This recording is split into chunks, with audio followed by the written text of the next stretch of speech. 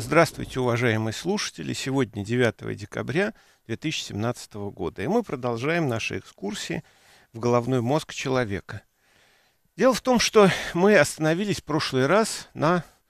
Э, дело в том, что мы остановились в прошлый раз на такой проблеме, как э, формирование мозга и конкретно формирование коры, то есть того самого органа, которым мы думаем, то есть те самые центры произвольных мыш... произвольного мышления, когда вы думаете э, о чем-то о великом, те самые произвольные движения руками, ногами, когда вы пытаетесь что-то да куда-то дойти, что-то схватить. То есть не те рефлексы, которые сидят на базовых структурах мозга, то есть на стволе, а совсем другие, те самые, которые сидят в центрах, способных осознанно адаптировать человека к внешним условиям, к э, городу, к деревне, к лесу, к общению с другими людьми. А сегодня мы продолжим и посмотрим, как эта вся штука функционально созревает. Дело в том, что э, в момент рождения и с моментом рождения сопряжено очень много странных э, поверий, мыслей, э, зачастую глупостей. Ну, например, э, есть такое поверье, что вот, значит, крупные женщины, они э, рожают крупных детей. Значит, это не совсем так. Ну, вот. Дело в том, что и те, и у худеньких, и субтильных, и у толстеньких, и могучего, и, скажем так, весомого телосложения рождаются дети более-менее одинаковые. То есть, к сожалению, эта закономерность не соблюдается. Поэтому, э, выбирая себе подругу жизни или мать своих детей, имейте в виду, что большие размеры не гарантируют вам Э, успеха, так сказать, репродуктивного. Ваш потомок может оказаться мелким, в общем-то, и достаточно паршивеньким. То есть э, ожидание, это я не шучу, это серьезное исследование было неоднократное и в Англии, и во Франции, когда измерялась и масса тела, и оценивалась размеры плода, это привело к таким э, странным последствиям. То есть на самом деле это последствия не странные. Дело в том, что, как я уже многократно говорил, после рождения, э, значит, когда уже достигает человек зрелости, там к 30 годам, его мозг в среднем весит 1,5 массу тела. То есть это достаточно э, маленькая часть. Орган-то небольшой, а потребление энергии огромное. А вот в момент рождения ситуация намного интереснее, потому что э, он составляет примерно у человека, когда человек появляется на свет, одну пятую от массы тела. Ну, понятно, что основная задача внутриутробного периода сформировать эту самую одну пятую часть массы тела для того, чтобы ребенок был готов э, к тому, чтобы вести самостоятельный образ жизни вне матери. Ну и, соответственно, расход энергии здесь уже на мозг совершенно другой – нежели у взрослого человека. Если про взрослого человека я многократно говорил о том, что там в случае в состоянии покоя человеческий мозг э, потребляет примерно одну девятую, одну десятую всей энергии, э, которая попадает в ваш организм в виде пищи, кислорода и всего остального, там воды, там растворов, электролитов, это все усваивается, естественно, в первую очередь мозгом, то после рождения эта ситуация намного хуже. Дело в том, что расходы на содержание мозга, который весит одну пятую от массы тела, достигают у новорожденного примерно трех четвертей от всей энергии. Поэтому, когда мать кормит грудью своего потомка, она в первую очередь э, кормит мозг. То есть мозг настолько рождается еще незрелым, маленьким и, в общем-то, никчемным для использования, что это требует колоссального времени и заботы, чтобы вопрос дорастить до хоть какого-то функционального состояния. При этом внутри утробы матери э, совершенно иной метаболизм. То есть дело в том, что когда детеныш развивается, для кормления мозга используются кетоновые тела. Это несколько не то, что мы привыкли считать основным источником еды мозга. То есть ну, основной источник энергии для поддержания работы мозга – это глюкоза. Так вот, у детеныша еще в утробе, в утробе, то есть у плодов, это не глюкоза, а кетоновые тела. И вот переход на э, питание уже глюкозой самого мозга и нейронов тоже достаточно сложный и довольно болезненный момент. Дело в том, что Даже не очень понятно, как меняется при этом метаболизм. Это исследования очень затруднены, поскольку ну, на людях, сами понимаете, работать невозможно.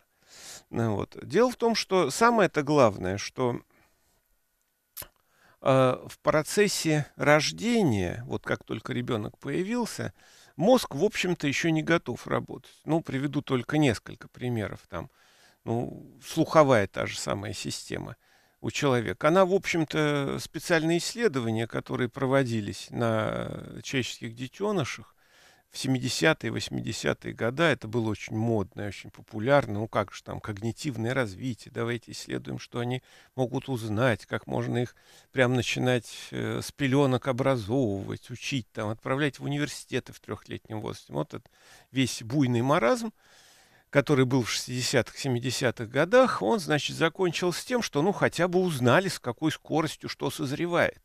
Дело в том, что в течение первого года там мозг увеличивается в массе в два раза, а к э, концу второго года в три. То есть он трехкратно увеличивается. Это очень быстрый рост.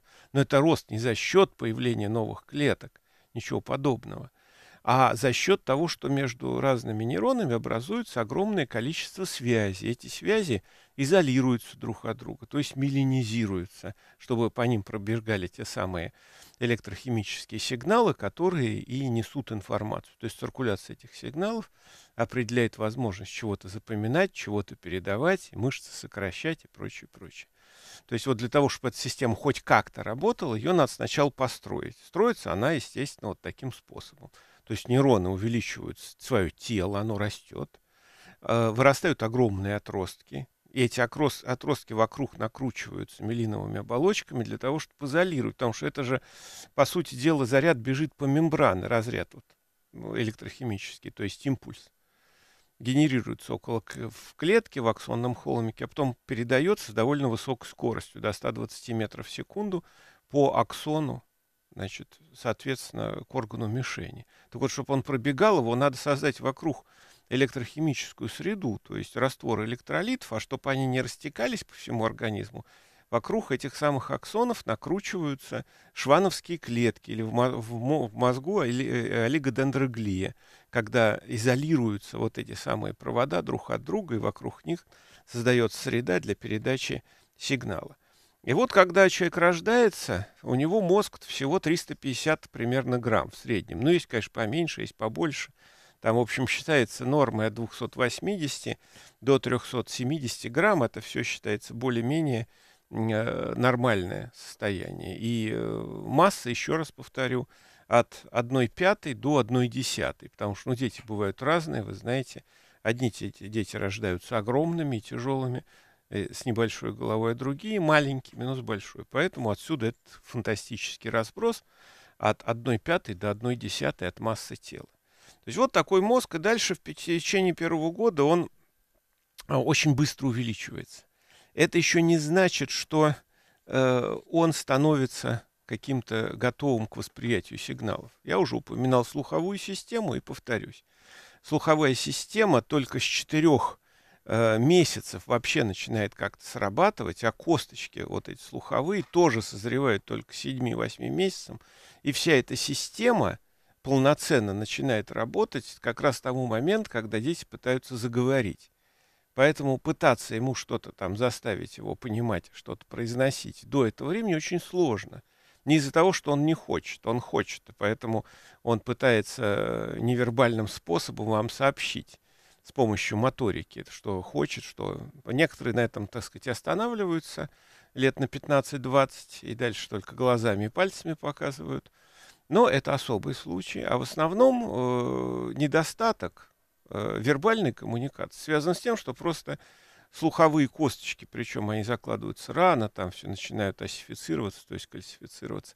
И вроде бы все почти готово, но реальная работа системы слуховой начинается где-то вот с четырех э, месяцев, а более-менее нормальной к моменту появления речи, то есть 7-9 месяцев.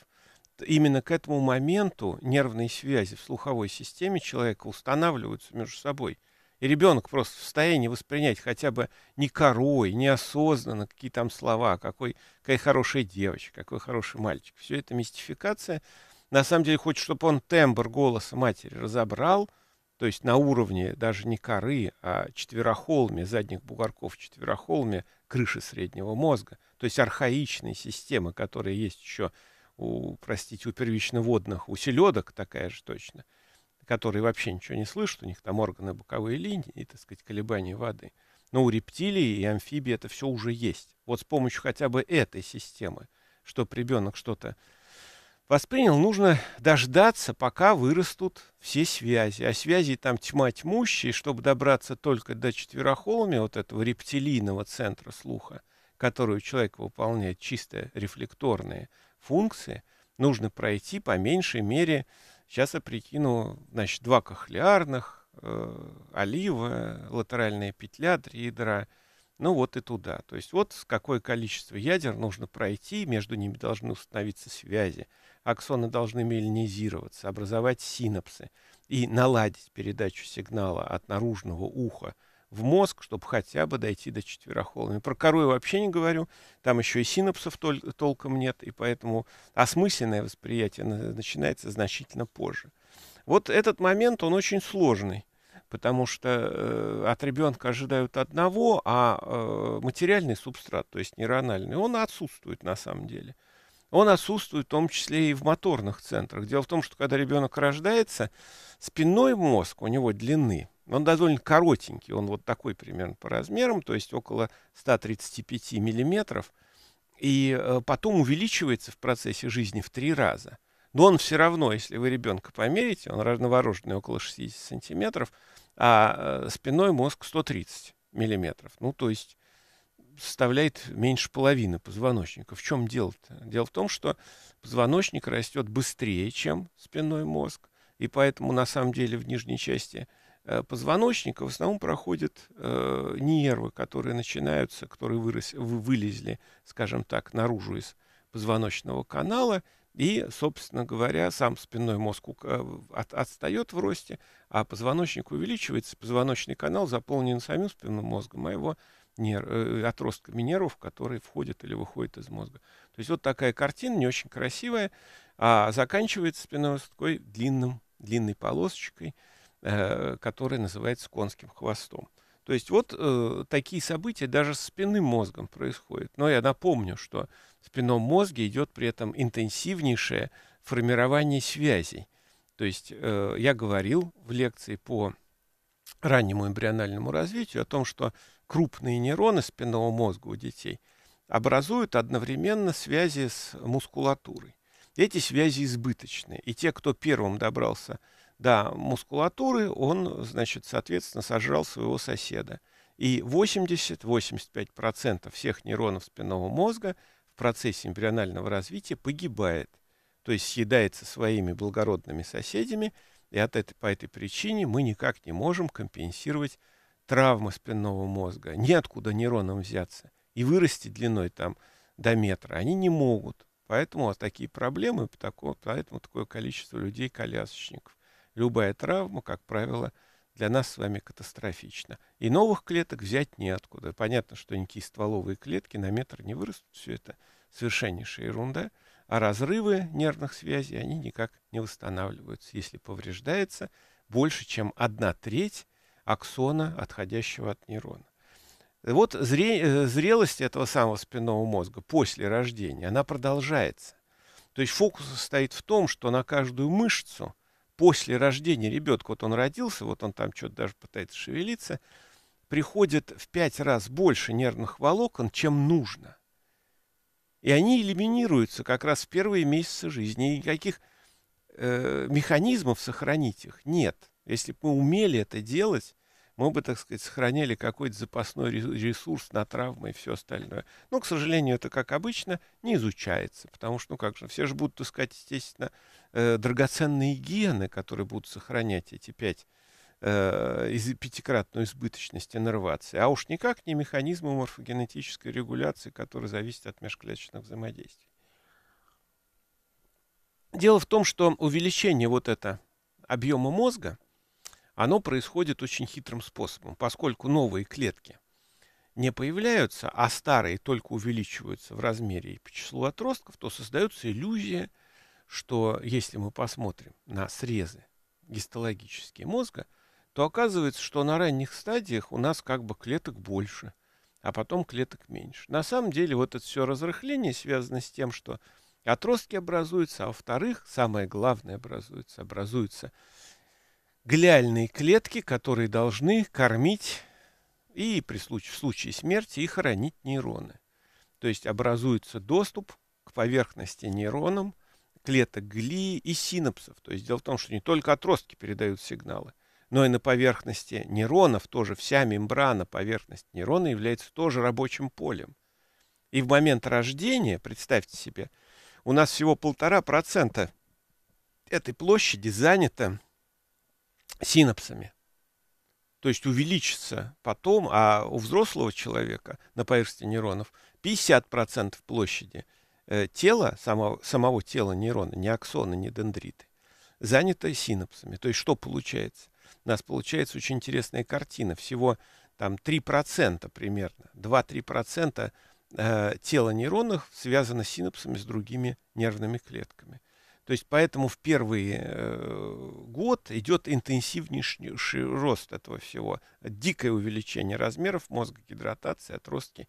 И э, информация, которую получает ребенок, какая бы она никудышняя ни была, она все равно так или иначе фиксируется. Ну, сразу после рождения там информации немного поступает в головной мозг.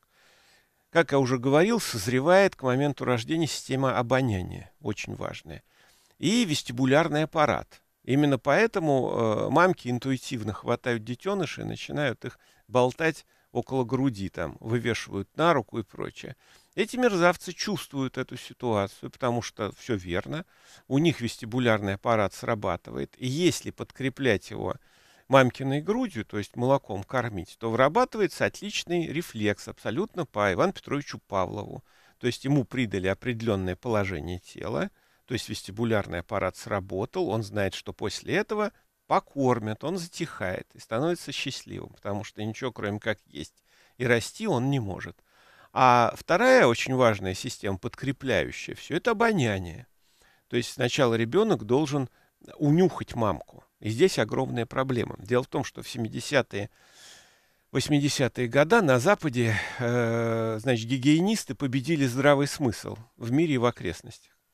Значит, они что говорят, что, значит, ребенка надо развивать в стерильных условиях. Ну и сейчас такие безумные мамки есть, которые, знаете, кафелем там и кухню, и коридор застилают до потолка. Это когда э, кухня и коридор похожи на что промежуточная фаза между туалетом э, в аэропорту и моргом. Вот, в общем, так делать не очень хорошо на самом деле, потому что нужно, чтобы микроорганизмы селились в кишечнике. Там, например, собачьим щенкам очень полезно давать э, дохленького мышонка, чтобы он сел и заселил свой кишечник там всякими полезными микроорганизмами. Я не предлагаю новорожденным скармливать дохлого мышонка. Но заботиться о том, чтобы к нему в организм попадали микро, микрофлора, которая, напомню, у нас в кишечнике составляет примерно полтора килограмма веса и позволяет нам усваивать массу пищи, очень полезно.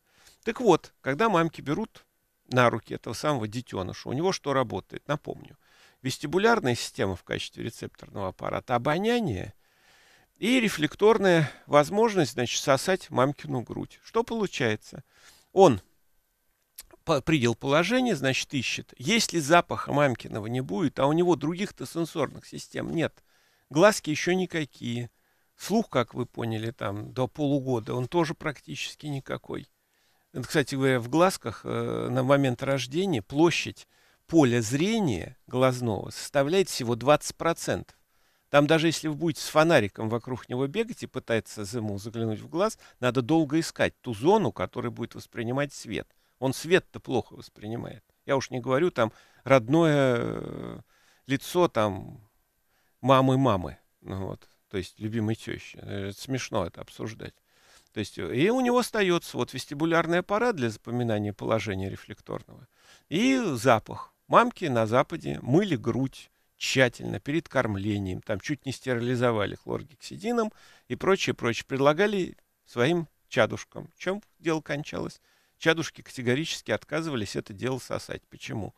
Да потому что сенсорная система-то обонятельная, он не распознает, он чувствует, пахнет какой-то дрянью, каким-то ароматизатором совершенно жутким, да еще антибиотиками там. Мыло в те времена начали как раз выпускать с антибиотиками.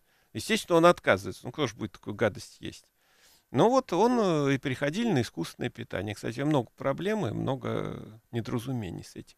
А когда сообразили, что только обонятельная система работает, ученые приложили к этому свои э, силы, стали, перестали мыть грудь. Мыть грудь стали после того, как их покормят. Он унюхивает запах мамки, и все отлично, и отлично ел. Так что имейте в виду, не балуйтесь э, с э, мылом с, антибиотиком. Ну вот. Надо сказать, что э, не только подсчитано число синапсов на поверхности отдельных нейронов.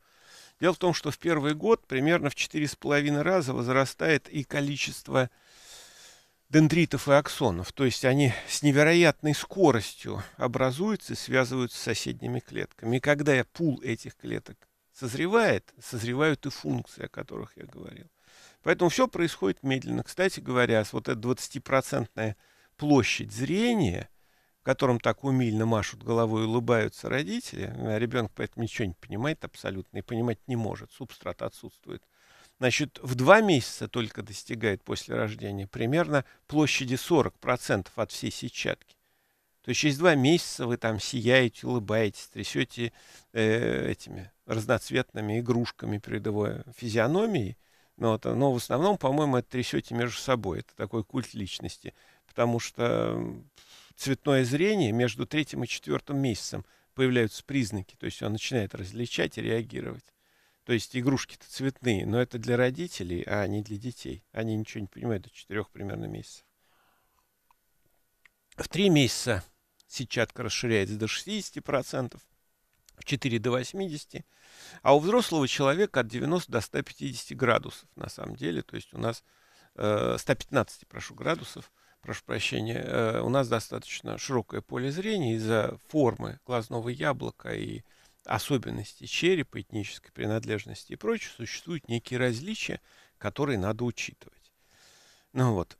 То есть самое это интересное дальше с тем же самым зрением. Просто я в качестве зрения привожу пример, потому что многие родители, не добившись слухового взаимодействия с ребенком, апеллируют к зрению – пытаются, ну вот сейчас мы покажем, он как глазами хлопает, давайте ему что-нибудь продемонстрируем. Он смотришь и поймет. На самом деле дело еще хуже, чем я рассказываю. Дело в том, что э, зрительный нерв, который идет от глаза, он не сразу попадает в кору.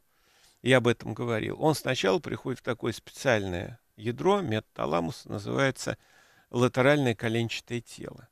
А с ним происходит масса метаморфозов. О, оно созревает, к сожалению, у человека только к двум годам, а окончательно к пяти-семи.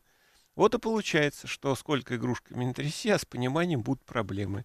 Потому что даже первое, первичное ядро, куда входят зрительные нервные волокна, зреет только через два года, а окончательно к 4-7 годам, что зависит от индивидуальных особенностей.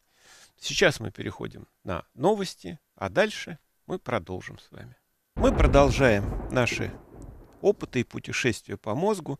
И вот пришел от Вадима очень приятный и интересный вопрос. Он звучит так. Фрейд и психоаналитики пишут, что память ранних переживаний обуславливает характер. Если это так, то с какого возраста это возможно в реальности? К сожалению, это не так.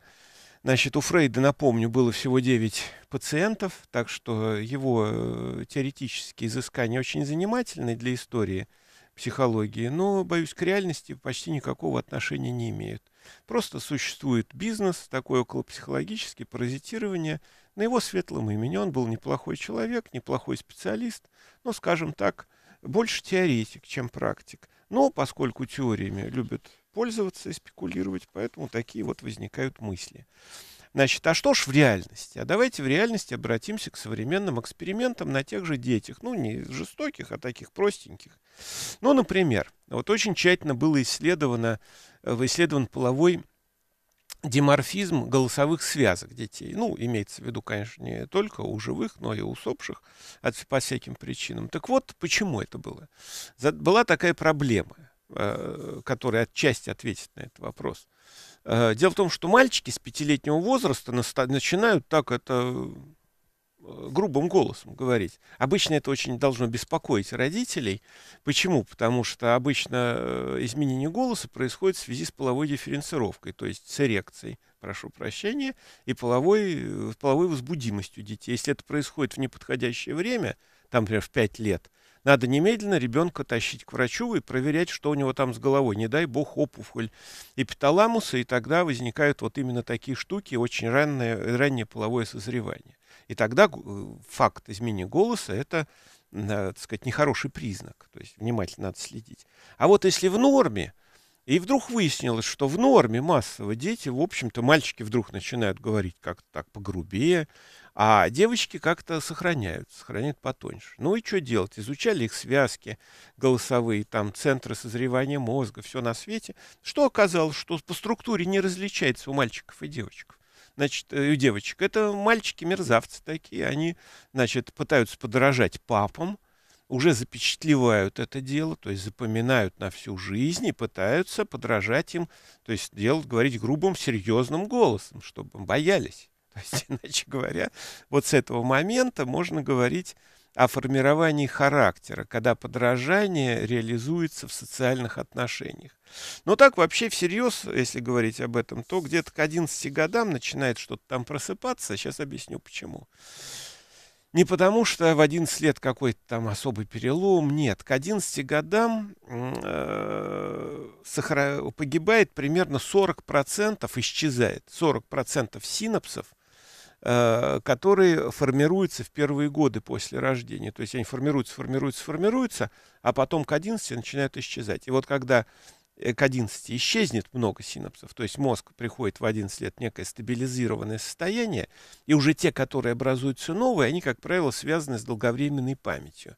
И вот примерно там в 10-11 у разных этносов чуть по-разному, 12 лет начинается вот это самое формирование характера, когда э, поступки начинают запечатлеваться, то есть запоминаться на всю оставшуюся жизнь. То есть вот с этого момента примерно, да, действительно можно ожидать, что характер, формирующийся в этот момент, он и даст свои плоды и в далеком будущем.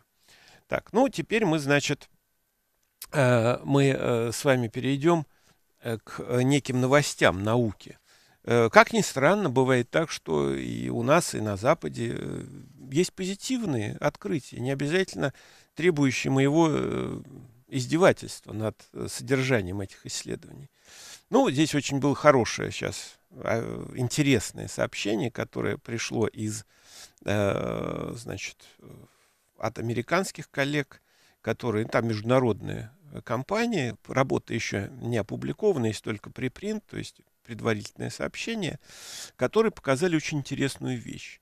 Всем хорошо известно о том, э, что э, близнецы, особенно однояйцевые, значит, очень похожи. И существует гигантская литература, много сотен тонн этой писанины, где доказывается, что вот один живет в Австралии, другой в Америке, и вот один руку сломал, и другой пальчик сломал, один заболел насморком, и другой заболел насморком. Мол, где это вот все детерминация большая, и что все генетически обусловлено. Но э, оказалось это не совсем так. И вот работа, которая выйдет э, не, скоренько, она посвящена главному, э, главным факторам раз, долголетия, а на самом деле – это статья о метилировании ДНК. То есть, значит, фокус в чем? Что э, в процессе жизни у нас э, к динуклеотиду цитозин-гуанин присоединяется метильная группа CH3. И, собственно говоря, э, присоединение этой группы блокирует функцию генов тех или других. И это эндогенная причина. Отчасти. А отчасти экзогенная. То есть, оказывается, очень смешно, что, естественно, люди, как только нашли эту закономерность, задались целью на протяжении 20 лет, эффект метилирования открыт очень давно, взять и проследить близнецов и посмотреть, как у них с метилированием генов, как у них геном-то различается или нет. Выяснилось еще как различается. То есть оказалось, что определив не, у 385 человек до 69 лет 1316 э, сайтов метилирования, они показали, что у близнецов это происходит по-разному. И именно поэтому они очень разные. Эти разницы при генетической идентичности непрерывно всю жизнь нарастает, которая зависит от чего? От факторов среды, которые очень ценны для каждого человека. Поэтому питайтесь нормально, ведите здоровый образ жизни, не занимайтесь спортом на износ, и все будет у вас хорошо. Поэтому ребятам этой объединенной команды можно только пожелать хороших больших грантов, а Вангу, который руководит этим проектом, дать бы побольше денег. Значит, есть еще одно сообщение, достаточно интересное и, э, мне как кажется, тоже любопытное, э, которое связано с антропологией отчасти. Это про э, опубликовано в Nature. И в этом журнале иногда какие-то здравомыслящие статьи публикуются, а не только коммерческие для получения грантов и э, продажи всякой ерунды.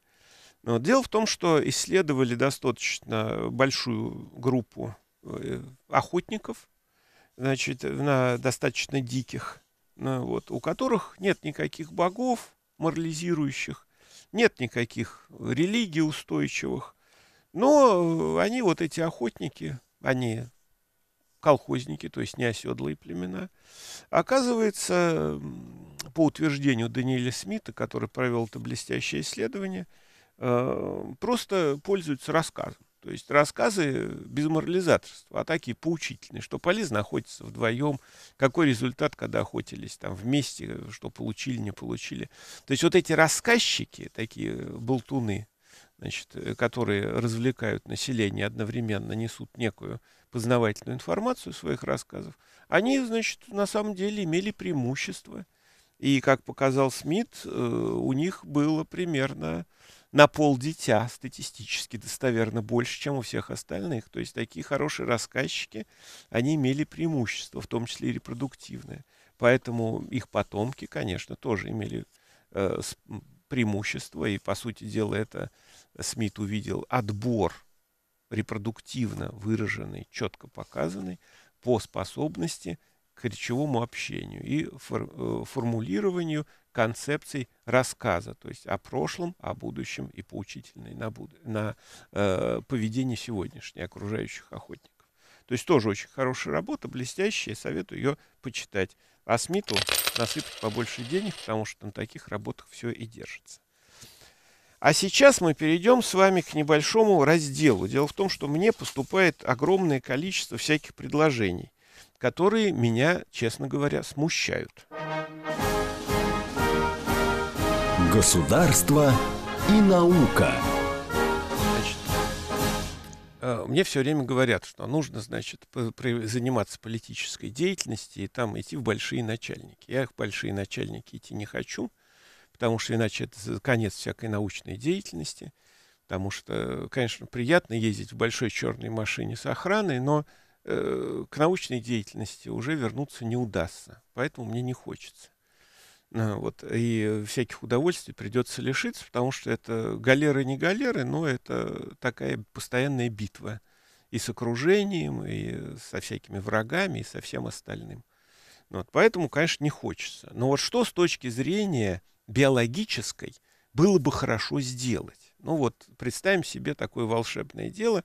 Меня позвали и сказали, ну вот расскажи, пожалуйста, дорогой профессор, вот со всеми твоими сумасшедшими идеями, а что делать-то? Вот э, так, чтобы, ну, первое, решить проблему казенную, государственную. Ну, люди плохо живут, что-то говорить, на себе чувствую ну, вот, э, решить проблемы социальные и избавиться от э, прохиндеев, которых такое количество, что уже сил больше никаких нет. Значит, вот э, с точки зрения нейробиологии мозга существует несколько очень простых приемов, которые позволят решить эти проблемы. Ну, во-первых, естественно, то, что всем хочется и всем наболело, нужно э, решать проблему, э, так сказать, облигатного паразитизма. То есть, ну, это в любой социальной системе существуют те, кто добывает, то есть работает, и те, кто паразитирует. Вот если вам не скучно, можете взять полбуханки хлеба и пойти в ближайший парк. Благо, Собянин лавочек наставил. Вот сев на лавочку, вы можете начать крошить хлеб, быстро соберутся воробьи. И обратите внимание, посмотрите повнимательней. Разбрасывая крошки хлеба, вы увидите, что примерно 40% воробьев – это добытчики. то есть те, кто добывает кусочек хлеба, который вы бросили. А 60% это вымогатели, которые стараются уже полученный кусочек хлеба отнять и самостоятельно съесть. То есть такие паразиты и бездельники. Значит, но это в любой популяции, в человеческой то же самое. Поэтому первое, что надо делать, это, конечно, спокойно сократить на 50% число чиновников и членов их семей от близлежащих систем э, пищевого, пищевого облигатного паразитизма. То есть это легко сделать, потому что в Советском Союзе чиновников было в три раза меньше, чем сейчас, а страна у нас уменьшилась в два раза, поэтому чиновничков придется попросить выйти. Оставшихся что сделать? Надо ввести Петровскую систему табели о рангов. Ну, знаете, там была, значит, наверняка кто не знает, в интернете сейчас быстро посмотрит, были там регистраторы, коллежские регистраторы, асессоры, тайные советники и прочая всякая ерунда. Но зато все будет понятно. И никаких тебе безобразий, точный табель о рангов, у кого кто в каком кителе ходит, в каком мундире, чья жена имеет вот шляпку с пером, а какая имеет шляпку с пером с двумя перьями одеть чтобы все было понятно и прозрачно. Но самое главное не это. Конечно, чтобы навести порядок в этом чиновничьем деле, необходимо где-то с уровня коллежского асессора, то есть переводя на современный военный язык, это примерно майор, э, конечно, вести э, смертную казнь.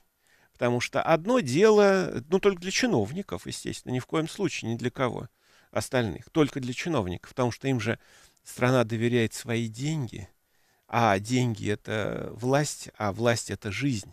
Деньги и власть это жизнь граждан. И если ты так с уровня уже майора начал их куда-то подтаскивать и складывать там э, на каких-то островах, то боюсь, что э, здесь предстоит декапитация. Конечно, декапитацию проводить аккуратно для того, чтобы мозг сохранить для исследований.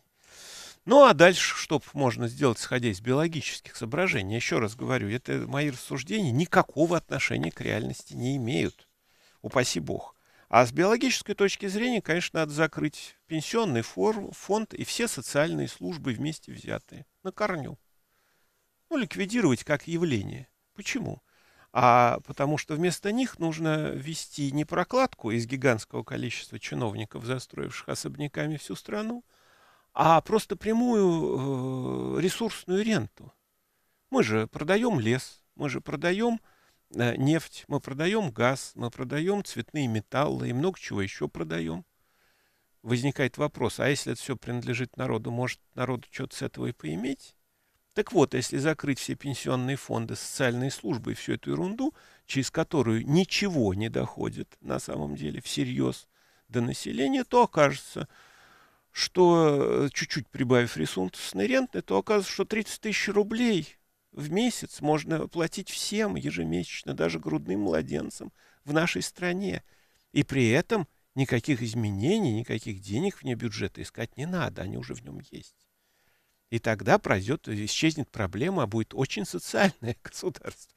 То есть биологическая проблема будет решена. Ну, понятно, что похожим образом с биологической точки зрения, еще раз подчеркиваю, это абсолютно нереальный проект и абсолютно не имеющий отношения к реальной социальной системе, потому что любые экономисты вам тут же объяснят, что оставлять их без работы категорически нельзя. А в этой ситуации их им просто не нужны. И обсуждать-то будет, в общем-то, нечего. И денег этих хватит достаточно посчитать, калькулятора достаточно настольного. Но, ну, понятно, что в области спорта там, решить проблему футбола, например, очень легко. Достаточно платить футболистам пару мротов, а все остальные деньги, пусть очень большие, выплачивать только за реальный выигрыш с реальными командами. И вы не поверите, как они быстро побегут. Сначала на запад, где они никому не нужны, а потом назад. И забегают и здесь. Хорошо, я вас уверяю. Все очень просто. Ну и в науке то же самое. Самый главный источник науки должен быть бизнес, который, с которого надо поощрять всемерно, не искать где-то деньги на Академию наук, вышкрябывая по углам бюджет, а просто разрешить бизнесменам вкладываться в науку. И для этого послаблять у них налоги. Он, например, вложил рубль в науку, у него осталось два в результате послабления налогообложения. И будет как на Западе. Возникнет гигантское количество точек роста, и та самая наука процветет, из которой уже мы не можем набрать, как говорил недавно президент, специалистов-инженеров для военно-промышленного комплекса. Готовить их уже негде, институтов, где, их, где они формируются, отбираются, воспитываются, практически нет научно-исследовательских. А сами они почему-то не заводятся. И как бы нам не пришлось там отбиваться от врагов каким-нибудь особым кадилом, к сожалению, не имеющего отношения к оборонной, э, к оборонке и к оборонному производству. Вот такие предложения, как вы понимаете, никогда в жизни осуществиться э, ни в одной стране не смогут, потому что страна это, как правило, 15-20% чиновников, которые э, скрепляют как бы структуру власти и от которой избавиться очень сложно. Но боюсь, что большие экономисты, которые часто выступают, правы. И как бы ни произошло все это мероприятие по биологическим законам. И очень даже принудительно. Меня это тоже пугает до крайности. Так, а теперь давайте послушаем звоночки. Значит, э, я вас слушаю. Да-да, задавайте ваш вопрос. Доброе Будьте любезны. Профессор, Доброе. объясните, пожалуйста, откуда мозг получает информацию? Вот я вхожу в свет светлого места, в темный, и у меня в правом глазу продолжает мелькать как бы фонарик сверху вниз. Откуда он берет информацию? Симптом какого заболевания? Это То есть фонарик у вас, вы до этого его не видели? Нет, я просто в темное помещение захожу и начинает мелькать сверху вниз, вот в правом глазе, несколько раз, до 10 Да, да, раз. да, все понял, да. Значит, э, фонарика нет, э, остаточные явления в глазах очень сложные по системе. И действительно нужно, может быть, и проверить э, и глазное дно, проверить глазное давление, потому что такие признаки, если вы при адаптации вдруг видите что-то, это должны настораживать. Обратитесь к врачу, я вас прошу, потому что э, как бы не было чего такого. Глазное давление, глазное дно надо обследовать. Судя по возрасту, вам не 16 лет, поэтому с глазами надо следить. Если такие явления есть, то может быть все что угодно. От там проблем с зрительным нервом до проблем э, с мозговыми оболочками, тоже бывают варианты, там всякие опухоли образуются и прочее, до самых простых вещей, связанных с изменением глазного давления. Давайте еще примем один звоночек. Будьте добры, говорите, задавайте свой вопрос. А, а, добрый день. Добрый а, день. Хотел бы задать вопрос на тему плацебо и психосоматики. То есть, что это за магия, когда мозг, не имея никаких медикаментов, излечивается или... Да-да, а, все понял, да. Да, все понял. Вопрос понятен. Значит, насчет плацебо, ну, что ж я могу сказать. Э, мы можем себя убеждать во многих вещах. Главное, чтобы вы вот таким способом не начали лечить какую-нибудь инфекцию, не дай бог. Вот вы знаете, э, гонококковые инфекции половой сферы почему-то плацебо не лечатся, а вызывают какие-то жуткие последствия. Пневмония часто может перейти в туберкулез, и плацебо тоже не лечится. То есть нужно разбирать, что является продуктом вашей нервной системы, то есть ну, некоторой неустойчивостью. И тогда можно снять просто, так сказать, проблему дружеского вечера в хорошей компании, может быть, даже с излишествами. И это все пройдет. А есть вещи, к которым нужно обращаться к врачу, то есть пускаться на такое самолечение, рассчитывая на реакцию плацебо, к сожалению, не приходится. Будьте добры, говорите, пожалуйста, задавайте свой вопрос. Э, здравствуйте. Хотелось бы вопрос задать про секты. Вот почему люди-то так тянутся? Я вот сам лично видел э, такую секцию, секту Шевцова, как он там палкой людей избивал, туда люди шли. Да, все понятно про сект. Я тоже в 90-е годы, э, значит, меня послали на экспертизу одной секты. Это было чудесно. Туда надо было нести 10 рублей денег советских и бутылку водки. Значит, э, все входящие, значит, сдавали бутылку водки такой старушке, значит, очень резвой в платке, с безумными глазами. Она всех усаживала, потом носилась вокруг этого стола, брызгала водкой, отпивала и э, портила воздух самым циничным образом. Ну, вот, видимо, она часто закусывала капустой. И вот, значит, эта носящаяся безумными глазами старушка, значит, набрала за это 10 рублей и вроде как излечивала от пьянства. Но, насколько мне известно, никто от этого не вылечился. Но это такой крайний э, случай просто обирания населения, хотя и такое сейчас продолжается. В чем дело в сектах, если по-серьезному? Дело в том, что люди, особенно сейчас, сейчас достаточно тяжело жить и трудно справляться с собственным эгоистичным мозгом. Он не хочет, в общем, так жить. Ну, не привык он. У нас эволюция была другая. А здесь его гоняют. Значит, люди ищут выхода. Какой выход? Самый простой выход построен всегда на одном и том же.